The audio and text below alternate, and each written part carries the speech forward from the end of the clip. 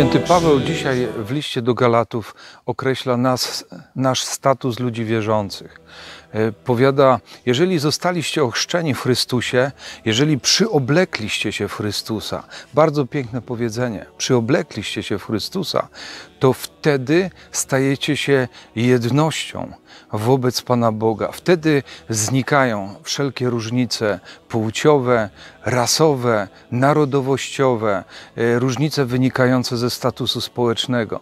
Niezależnie od tego, kim jesteś, skąd pochodzisz, jakie jest Twoje wykształcenie, jeżeli poszukujesz Pana Boga, to w równym stopniu masz dostęp do Jego boskiego serca, do Jego miłości, do przebaczenia, do Jego łaski.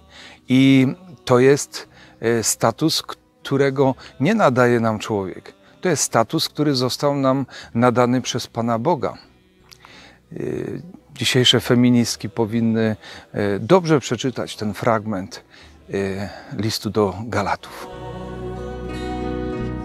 Tyś wyrosło z wiary jak ziarnko,